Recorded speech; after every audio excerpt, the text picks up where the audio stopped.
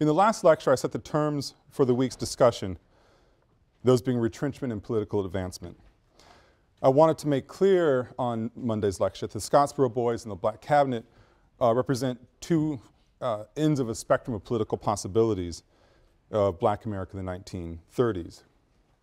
They are together articulating a new voice, a new, a new vehicle to communicate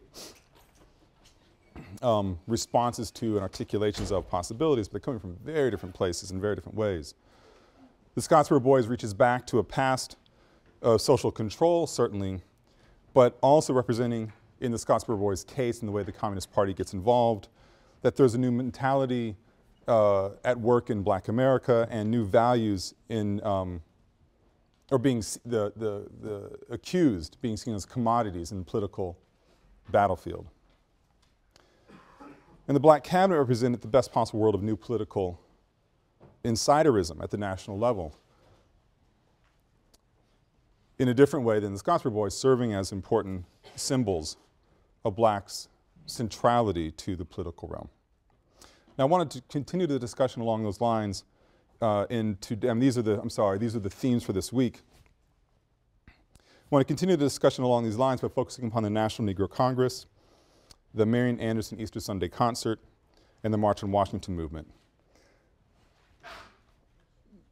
This, the events for this lecture are essentially the second half of the 1930s, but it's important to realize the things I was talking about in Monday's lecture uh, are overlapping um, many of the events that I'm talking about today. These are all happening in the course of the decade, but certainly at some point all happening at the same time. Let me start with the National Negro Congress. The National Negro Congress for some reason, this is a lecture I wrote down a lot of notes for you guys. and I'm not surely why. Um, maybe I was being generous. I don't know. Um, anyway, the National Negro Congress has its start in the National Industrial League. Forms in 1933. This is a response to the development of, uh, well, Franklin Roosevelt's um, New Deal and uh, agencies like the National, Reco well, in early incarnation, the National Industrial Recovery Act and how this organization was not going to care about um, setting wage, setting minimum wages for agricultural workers or for domestic workers. And two men get together, Robert C. Weaver and, and John P. Davis, um, and start, black men, start testifying before Congress, before the Senate, saying, you know, this is an abomination. You're completely writing out or, or disregarding those areas that have the most important or significant black involvement. The Negro Industrial League is a two-man operation, but they fashioned themselves as a, an umbrella group representing black interests across the country.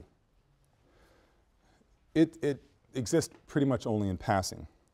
Now the important part of it is that Robert C. Weaver is seen as doing such a great job, having rece recently received his uh, JD from Harvard, he gets incorporated into the federal government and is one of the very first race advisors. So that's where the, the Negro Industrial League is important for bringing in um, one of its own into the federal bureaucracy. The other person, John P. Davis, remains an outsider. And we'll be spending more time at Davis's activities in the course of this lecture. Davis organizes, in the wake of the Negro Industrial League's collapse, the Joint Committee for National Recovery, lasts only for two years. It too fashions itself as an umbrella organization representing blacks' needs from across the country. Now, this is a self-representation. I mean, these are not, you do not, do not have all sorts of black-run organizations running to John P. Davis and the Joint Committee for National Recovery, which is essentially him and an office and a couple of figurehead people. Davis, well, they aren't running to Davis because one, this is new kid on the block, basically. Um, you know, they're still looking at organizations like, you know, uh, churches, business associations, NAACP, for example. But the Joint Committee for National Recovery does at least one important thing before it collapses. And it organizes a conference at Howard University. And this is a conference that is dedicated to trying to understand the economic plight of African Americans during the Great Depression and the New Deal. Now, it's just a conference, but it it's remarkable that it brings together people from a wide range of political backgrounds. Uh, it brings together labor organizers, agricultural workers, domestic workers, you know, people who are doing work on the ground. It brings together intellectuals like W.E.B. Du Bois, who's becoming a Marxist and talking about economic cooperatives along race lines, something actually in some ways looking similar to Booker T. Washington's ideologies. It brings together leaders of the Communist Party, the Workers' Party, the Socialist Party. It brings together people from the federal government, like Robert C. Weaver now. All asking the question, what is the status of the Negro in, in the New Deal? And the result of this conference was, um, well, many things came out of it. One, scathing attack on the New Deal for the way it ignored blacks' conditions on the ground in ways I outlined briefly on Monday. It launched an investigation into communistic activities at Howard University. Howard University then essentially being funded by the federal government and essentially now still receiving most of its support from the federal government. An investigation was launched into the communist activities at Howard and, uh, and certainly there were communists on the faculty at Howard and certainly socialists as well and certainly a lot of sympathizers. So it was an attempt to silence and actually shut down the university as a result of this conference. And most importantly, it establishes a group called the National Negro Congress. Oh, I forgot that slide. Okay, those are the notes what I just told you. Um, the National Negro Congress actually does turn into that kind of umbrella organization that the Negro Industrial League and the Joint Committee for National Recovery all aspired to be. The National Negro Congress forms out of a call. I mean, the Howard University Conference, we need to organize a, a national political action group, and it becomes the National Negro Congress, formed in 1936. The Congress convenes for the first time in Chicago in 36, where it's met where, with police harassment due to alleged communist participation. A. Philip Randolph, who we'll be talking about more towards the end of the lecture, but for now, just to know the most important bless you, the most important uh, labor leader in black America is elected its first president. And the National Negro Congress establishes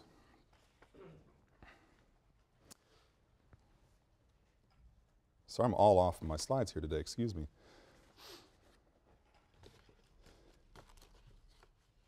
It establishes a slate that's concerning civil rights, women's rights, labor's rights, aid to farmers and sharecroppers. It calls for an anti-lynching law, calls for voting rights, education opportunities, social and unemployment insurance, in opposition to war and fascism, civil rights, women's rights, labor's rights, aid to farmers and sharecroppers, anti-lynching law, voting rights, education opportunities, social un and unemployment insurance, and an oppression to war and fascism. If you think back to a few weeks earlier in the course, a large part of this slate that the National Negro Congress calls for is identical to the slate, to the um, manifesto that the Niagara Movement calls for some 30 years earlier, not quite 30 years. Uh, the point is a lot of the issues haven't changed, despite some real changes in those 30, 30, 31 years, excuse me. Now, the National Negro Congress was not just made up of black folks getting together calling for a slate of a progressive future. It is, as the slide up here indicates, a cross-section of black groups and white labor of all different kinds of groups, as far as black business bureaus, uh, black churches, um, uh, black labor organizations. The Congress actively courts um, white labor in this regard, especially the Congress of Industrial Organization. And it sets out this agenda for change on the ground. It has, more than anything else, a labor orientation, despite even business groups being involved. It's going to change things on the ground. And the person organizing, sort of, A. Philip Randolph, the president, but the person doing the work on the day-to-day basis is John P. Davis. He was there at the Negro Industrial League, there at the Joint Committee for National Recovery, and he's really running the National Negro Congress. And he runs it for the length of the NNC's existence, which is not quite a decade. Now, one of the first things that the Congress does successfully, aside from just meeting, is establish the Southern Negro Youth Congress, essentially the youth arm of the Congress. The Southern Negro Youth uh, Congress had its inaugural conference half a year later, in February 1937, in Richmond, Virginia. And it makes its headquarters there for a number of years. With the guidance of the Southern Negro Youth Conference leaders, becomes a permanent organization and almost immediately organizes 5,000 tobacco workers into the Tobacco Stemmers and Laborers Industrial Union. Very soon after, an, an SNYC uh, uh, leads a sit-down strike in, at a Virginia tobacco company and, garn, and, and gets wage increases of 20 to 33 percent. This is remarkable.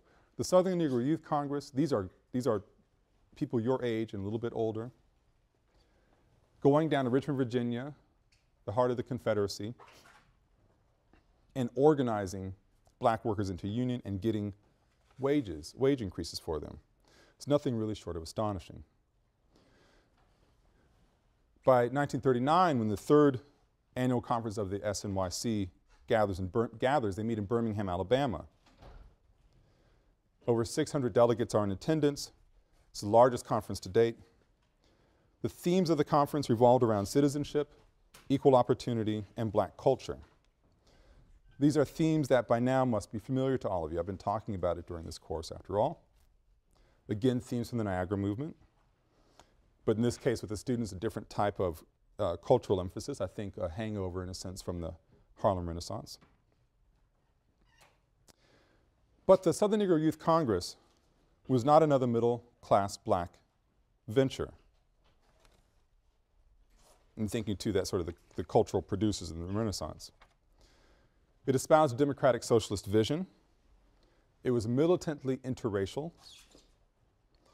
It offered its full support to the Congress of Industrial Organization, that breakaway set of labor unions that actually welcome black workers. And, and this is the most important part, it's very quietly communist. The Southern Negro Youth Congress uh, moves its headquarters down from Richmond down to Birmingham and establishes a watchdog presence in the Deep South. Wages suffrage campaigns, you know, trying to get people to vote, anti-poll tax campaigns. It tries to fight against br police brutality. Now the Southern Negro Youth Congress is important because of its communist involvement, certainly, but also because you can see it as a preface to the civil rights activities that defined Birmingham some 20 years later, and that as we'll see next week, uh, you start seeing a lot of these kinds of activities in other places throughout the South through other organizations. And I'll ex expand upon this point later on, it's very important. Uh, Southern Negro Youth Congress is but one example that force, if you think about it, forces a reperiodization of the civil rights movement. Leave that alone there for a moment. Well, the SNYC begins to fade as we get into the 1940s. Its male leaders go off to fight. Its female leaders do not remain youthful. I mean, neither do the men, of course, but the women are still at home. It's no longer a youth congress. They're not regenerating themselves. And the whispering about its linkage to the Communist Party really prevents it from becoming a major political force after the Soviet-Nazi pact in 1939, when the Soviet, when Hitler and Stalin get together saying we won't fight against each other, which alienates a lot of people who are supporting the Communist Party in the United States. Meanwhile, back in the National Negro Congress, so roll back the clock a few years, Randolph, A. Philip Randolph, who's the president, is hearing more whispering about communist involvement in the National Negro Congress. He's not happy about it. He, fight, he denies it at first. He goes, no, we are, you know, we are an independent organization. Even though we've modeled ourselves modeled ourselves uh, after communist, communist ideologies as far as developing being a popular front of all people from different kinds of, of, of places coming together to fight towards this one goal. We are not communist. But then it becomes clear that communists have infiltrated the National Negro Congress, mainly through the Congress of Industrial Organization. So white labor organizers, Randolph concludes, are bringing communism into this organization, and he wants no part of it. Randolph, after denying it for a while, goes to the National Convention in 1940, where he's going to stand up in front of the Congress, the National Negro Congress, and resign, and resign with fire, talking about uh, how the communists do not have our best interest at heart. He's basically booed off the stage. I mean, the communists had now taken control of the Negro Congress. And John P. Davis, where is he through all of this? Well, he's, he's a communist, actually. Um, and so, he, you know, he's caught in rock and a hard place, but sides with the Congress, and that's where he, um, that's where he continues to reside for a handful more years. And that's in 1940. And Randolph's about to go off and start something quite different in response to his departure from the National Negro Congress. And we'll get to that towards the end of the lecture. While all of this is going on, all of this meaning the National Negro Congress becoming organized, having its conferences, uh, turning more towards communism, and then Randolph breaking from it, you have a series of events happening on the cultural front, cultural and political front, that sort of galvanizes black opinion and leads to a new set of political possibilities. And that's the Marian Anderson Easter Sunday concert in 1939. Marian Anderson, black woman, regarded as one of the world's greatest living contraltos. She's, uh, she sings opera. Her case is well known, partly for her international stature, partly for the other high profile whites who are involved in it, and partly for the symbolic significance attached to the controversy. Let me give you the history behind it and the controversy and explain its significance. Howard University School of Music had regularly been scheduling Marian, Anderson to come back from Europe. She was born in the US but couldn't establish a career in the US. She goes off to Europe and becomes a, fan, a, a superstar in Europe. But Howard School of Music starts uh, scheduling, as her star is rising in Europe, is scheduling her to come back to the US to give con uh, concerts. And they've been on campus. As her popularity rises, they can't house her on campus anymore. And in 1936 and 37, the uh, Howard concert had been moved to a local black high school auditorium. By 1938, Marian Anderson's fees are such and the demand is such, they need a larger venue in order to, to, to hold the concert. They, they went into the um, Black Commercial District, which is right next to Howard, went to a theater that was bigger than the Black High School Auditorium, had it there. In 1939, the fees are greater, the demand is greater. Where are we going to have a concert? The School of Music goes to the Daughters of the American Revolution, the DAR. The Daughters of the American Revolution, um, a social political organization, I think more social in, in this moment until it becomes politicized, of women who can date back their lineage to people who fought in the Revolutionary War. At that time, and really only until in the last 10 or 15 years, a very white organization and very conservative organization. And they manage Constitution Hall, which is the largest venue in the city. Still there today. Well, they go to the Daughters of the American Revolution, the School of Music does. We'd like to have Marian Anderson performing in Constitution Hall. Would you let her sing there? Now, the DAR maintained a strictly segregated policy. Now, in DC theaters, it was quite common to have um,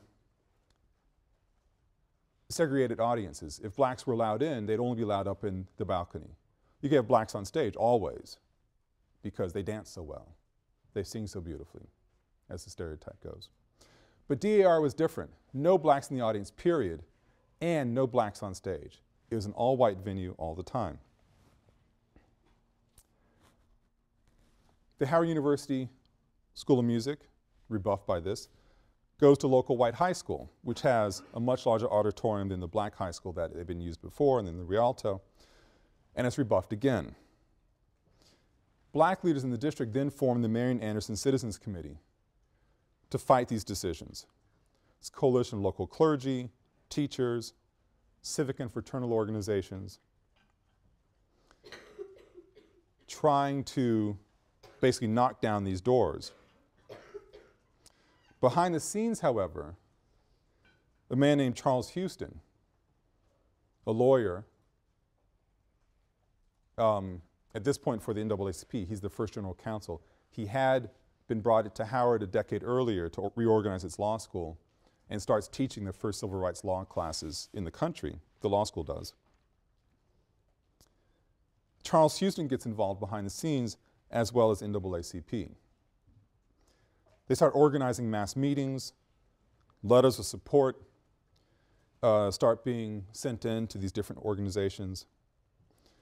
And they're focusing on the white high school. They go to, they're going to the, the Board of Education. The Board of Education says, okay, you know, we'll, we'll, we'll come to a compromise on this. We will allow Marian Anderson to perform at this white, at the White High School, Central High. We'll let it be integrated.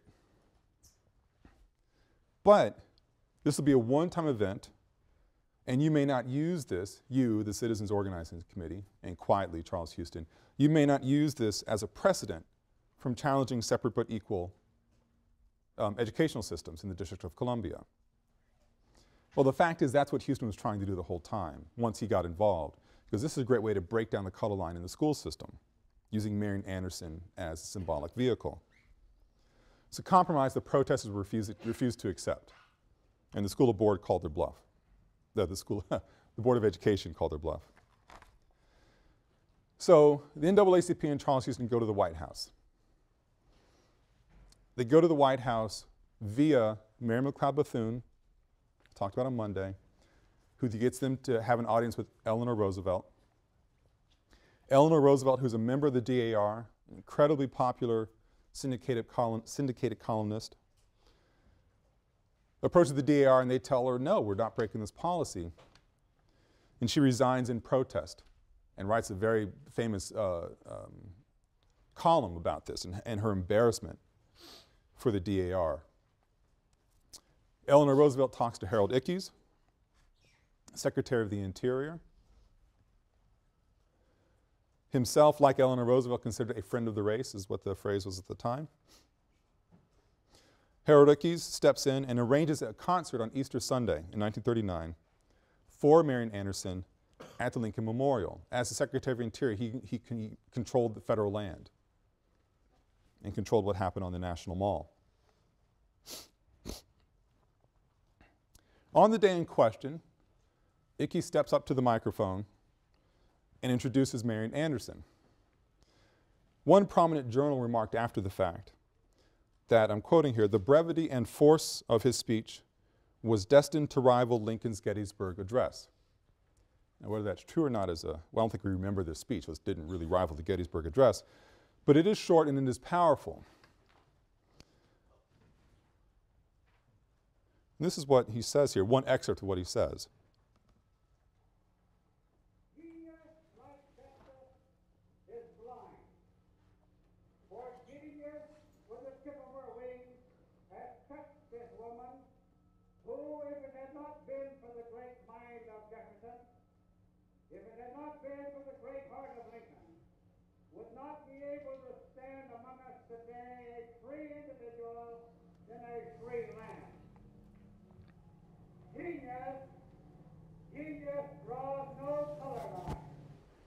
Start hearing a plane flying overhead there. It was something of a circus atmosphere. He says, Genius like justice is blind. For genius has touched with the tip of her wing this woman who, if it had not been for the great mind of Jefferson, if it had not been for the great heart of Lincoln, would not be able to stand among us today as a free individual in a free land. Genius. Genius draws no color line. It's a powerful statement coming from a representative of the federal government. Now, four hours before Ickes steps to the microphone, four hours before the concert begins, people start arriving at the National Mall, at the Lincoln Memorial. And what they find there is really quite remarkable. DC is a very segregated city during this era.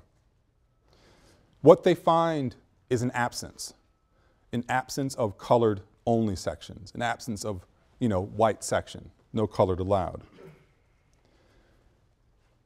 75,000 people crowd the mall. And it may not sound like a dramatic number to you in our day of, um, you know, millions showing at the mall, but this is historic. And it's also opera, which is not known as sort of the people's music, right? 75,000 people crowd the mall to hear Anderson's performance, and an untold number of people listen to the performance on radio around the country, aired live. Planes are circling overhead, trying to understand the scene that's going on there. It's a famous image. Marian Anderson in long fur coat, uh, singing just with piano accompanying her.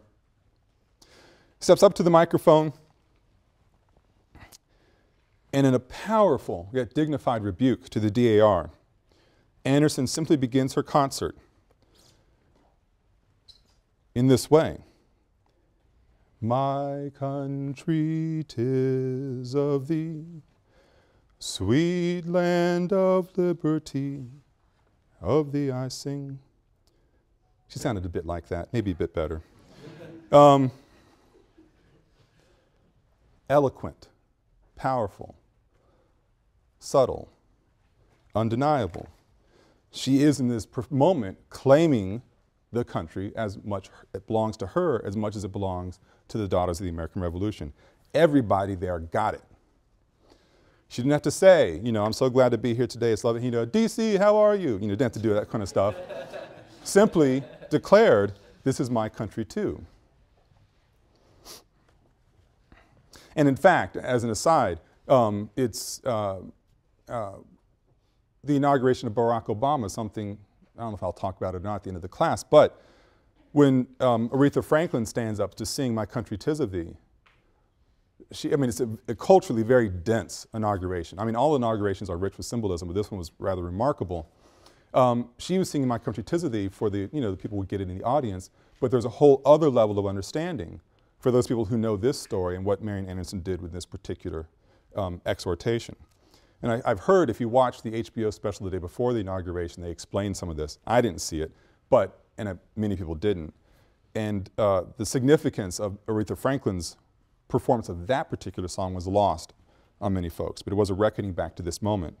The moment's important, not just because it, you know, it's a classy way of being a civil rights protester, but it's important for these different reasons. With Eleanor Roosevelt and Harold Ickes giving their very public support to the, um, the Citizens Committee for Marian Anderson and for the right to her to sing at the DAR, it suggests to African Americans that the federal government at the highest levels in the White House really does care about us.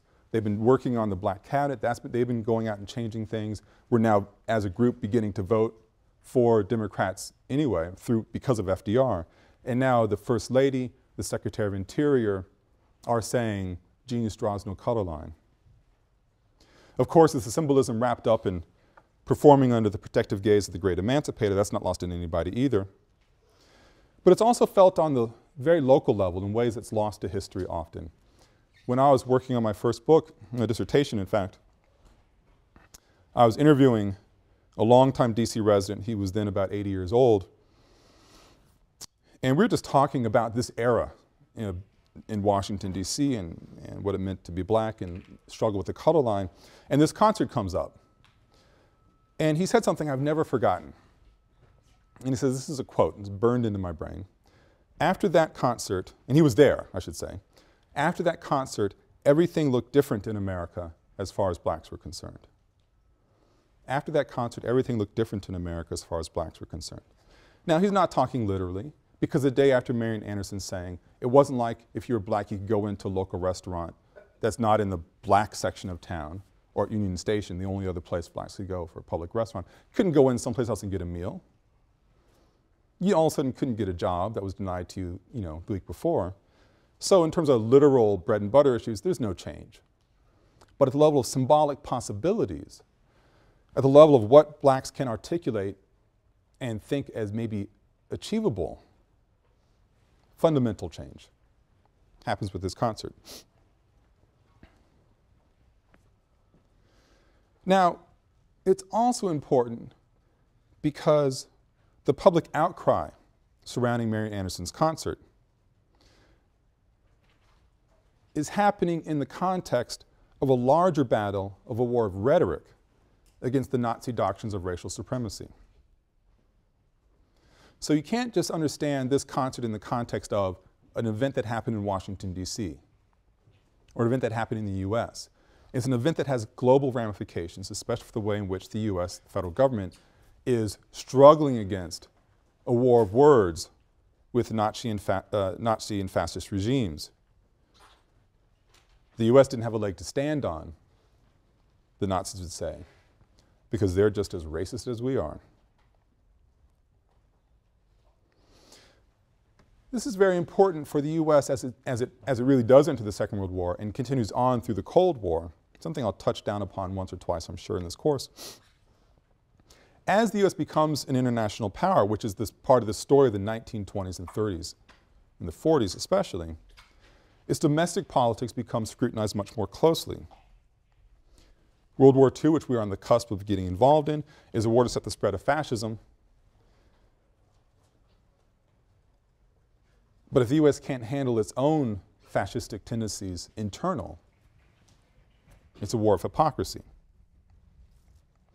So you start seeing there in the Scottsboro Boys reaching back to Monday, and the way they use as cultural markers for the communists, Marian Anderson being used as a cultural marker of democratic possibilities, blacks being used as cultural markers of political possibilities, of what this country is supposed to be for everybody, and what the country is supposed to be for African Americans, and what the country is supposed to be for the world.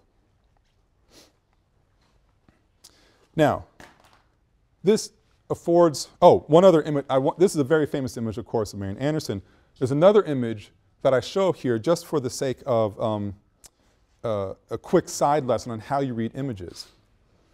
There's a way in which, you know, we, we are, on our mind's eye, we are here, sitting just below her right shoulder, um, and we see dignitaries at the, micro, at, the, at the stand. This image I dug up tells a very different story. Except for, use the mouse here, except for this area here, which is cordoned off for reasons I honestly don't know. Everything else you see except for that tree line, going off to beyond the reflecting pool are people. Sitting there in an integrated audience, 75,000 people. Just to sort of gives you a different sense of the way this might have felt if you're actually there. And because it's harder to make out Marian Anderson, I'm, I'm assuming that's why this is not one of the more famous iconic pictures. You just hear somebody's back standing in front of an audience. But it really was quite a visual spectacle and I think offers ways for you to think about how you read images, for instance, perspective being very important. Now, I was talking before the little caveat, I was talking about political symbolism and the roles and the ways in which African Americans um, were political footballs. And then I wanted to transition to a story that helps us understand how blacks start using this to their great advantage. And that's the story of A. Philip Randolph. A. Philip Randolph, his name has come up several times already in the course, and I'm going to devote the rest of the lecture to him quickly. He is one of the most important transitional political figures in African American history. He's born in 1889, dies in 1979. I mean, the ranges of what happens in his lifetime is really astonishing. But here's a person who's involved in the political scene in the 19 teens and 20s taking a frontline argument on issues. And he's there in 1941 at a moment of, of powerful symbolic importance I'll be talking about in a moment. And he's there in 1963 when King steps up to the microphone and delivers his dream speech. Incredibly important political person. Helps us navigate from a, from a period of Booker T. Washington political power ideology of accommodation and through his consistent socialist politics. I mean, Randolph couldn't stand communists, but was an ardent socialist, transitions African American political voice to a very different kind, different, different kind of voice. Now, there's three phases to um, Randolph's career through 1941. In 1914, he moves to New York City, becomes witness, well, part of and witness to the Great Migration and sees the way it transforms that particular urban site. He sees the NAACP and the National Urban League as people, organizations fighting out for resources, fighting over resources, certainly affecting workers' lives by their policies, but not really at the workers' level. NAACP being very much a top-down organization with assimilationist and um, middle-class norms. The National Urban League trying to help people on the ground, but you know, in the pocket of corporate corporations and, and helping basically break up labor unions. And Randolph says, but what about the workers themselves? And so he starts looking around for different ways to get involved in workers' movements, labor movements. In 1970, he declares himself a socialist, urges blacks to resist the US draft, and to confine their fighting to the domestic front. He can't stand Du Bois's call to close, our, close ranks. And around the same time, he, along with another black socialist named Chandler Owen, start publishing a, a, a magazine called The Messenger. Through The Messenger, Randolph calls for a bold black socialist leadership, calls for radicals who would not be afraid to challenge accepted notions of, of how U.S. society should operate.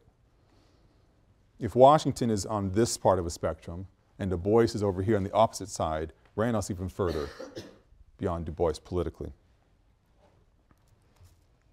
He and Owen are characterized as Bolsheviks by members of Congress.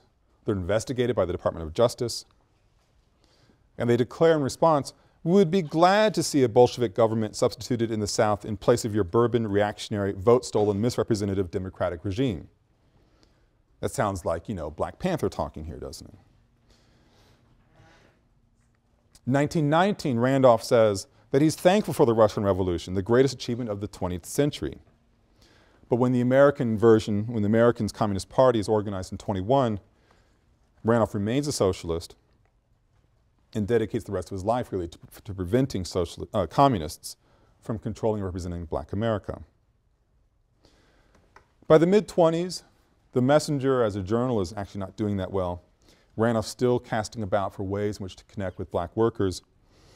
And a labor union is, being, is organized and recognize that Randolph really has the voice that they need to be heard in a larger, a larger um, scene. And that's the Brother, Brotherhood of Sleeping Car Porters and Maids. 25, in 1925, Randolph recruited to head the union, sleeping car porters. And then when organized, trying to get the American Federation, uh, trying to get the Pullman Company, people who run the trains, own the trains, to recognize that union. And then the American Federation of Labor to recognize that union. Efforts are made to get better um, working conditions and higher wages from Pullman. Pullman refuses both and tries blackballing Randolph, tries to, you know, crush him. Randolph becomes very unpopular with black and white groups alike for his radical stances.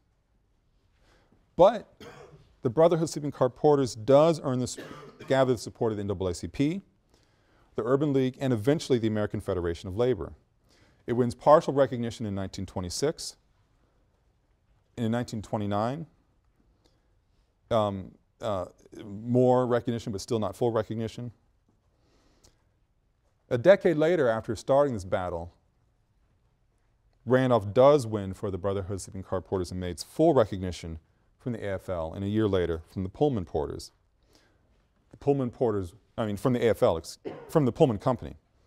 The wages go up, job security goes up, benefits go up. The Pullman Porters actually become a great vehicle to attain middle class status for a segment of black America. In fact, the Pullman Porters, the US Post, the military, over the course of the 20th century are the three great ways for black Americans to transition to middle class status. With Randolph's victories with the Brotherhood of Sleeping Car Porters and Maids, getting fully recognized finally in 36 and 37, he is seen as, without doubt, the most important black labor leader in the country. This is why he's selected to run the National Negro Congress. There's nobody else who has his access, who has his power and his influence. But as you know, Randolph is a staunch anti-communist. And as the National Negro Congress develops further, he realizes there's no place for him anymore in that organization.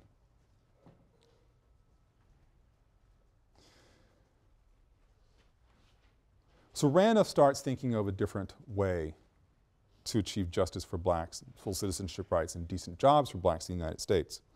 The National Negro Congress is not going to be the vehicle. What Randolph sees is that as the U.S. war industry starts to develop, as it's arming Europe, Western Europe, or the Allies, I should say, as the U.S. war machine, industrial war machine develops, these are the best paying jobs in the country as far as you know, factory work is concerned. And blacks can't get those jobs. They can work, they can push a broom in the factory, but they can't roll steel or whatever you would do in a munitions factory. Factories are in overtime. There's money to be made hand over fist. Blacks can get those jobs. There's movements being made to increase the size of the army, a powerfully segregated army. Randolph says, well, where do we fit in in all of this? We're second class in the factory and in the military. Randolph and a group of other leaders go to Franklin Roosevelt, September of 1940, with a seven point plan that, I mean, I'm not going to go into now in interest of time, but is essentially calling for the desegregation or the integration of the U.S. military, calling for access um, to all jobs in the defense industries, essentially anti discrimination policies. The plea is ignored. FDR always being afraid of losing his coalition of Southern Democrats who would be upset by any sort of racial progressive politics.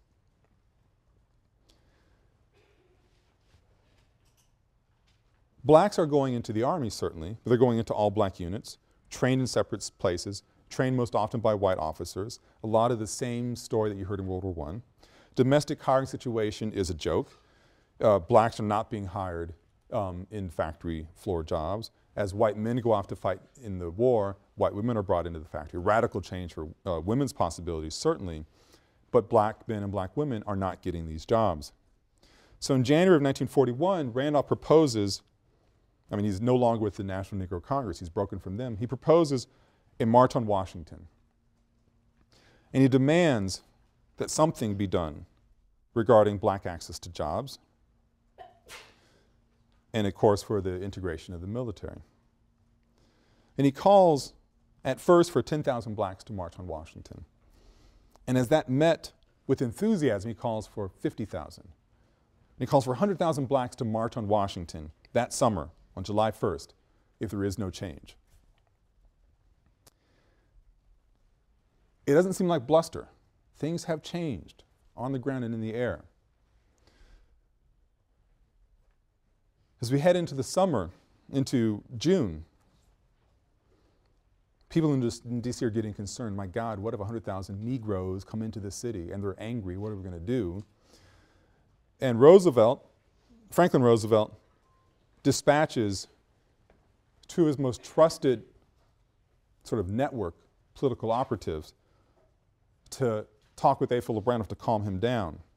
He sends Fiorello LaGuardia, then the mayor of New York City, liberal on race issues.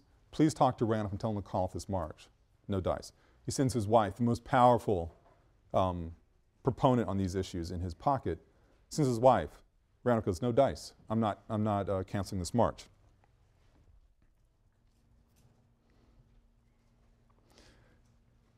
Finally, FDR says, okay, Mr. Randolph, come to see me. It's about a week before the march is set to go off. Randolph goes into the White House, meets with Roosevelt, and Roosevelt says, if, Roosevelt says, if you call off the march, I'll issue an executive order with teeth in it, as the word was. And Randolph says, okay. Roosevelt signs Executive Order 8802 on June 25, 1941. It says there shall be no discrimination in the employment of workers in defense industries or government because of race, creed, color, or national origin, and it's the duty of the employers and of labor organizations to provide for the full and equitable participation of all workers in defense industries without discrimination based on race, creed, color, national origin.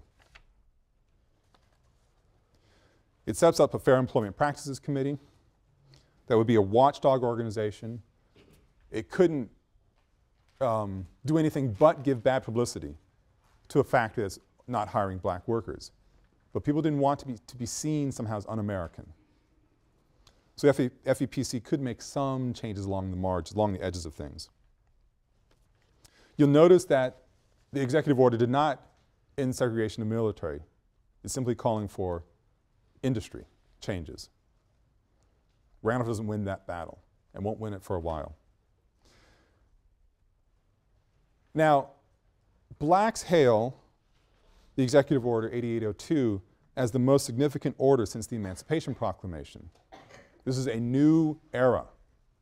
And it's not a new era just because of what the president's calling for. Because on the ground, what actually happens is a little, little messier. It doesn't immediately integrate all industries.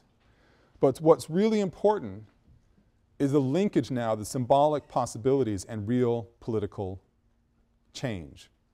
And that is a prominent leader of the African American community called the President's Bluff, was called into the White House and they negotiated face to face to find a resolution. That's one of the things, once the genie's out of that bottle, it can't go back in. So black access to the White House is now direct to the president. Presidents from this point on cannot afford to ignore black leaders in the way they have been doing since the founding of the Republic. So you have in A. Philip Randolph and March on Washington moment the merging of the symbolic politics of possibility and the real politics of possibility. And it is a merger that would go on to define the civil rights movement that we know about so well over the next 30 or 40 years. Thank you very much.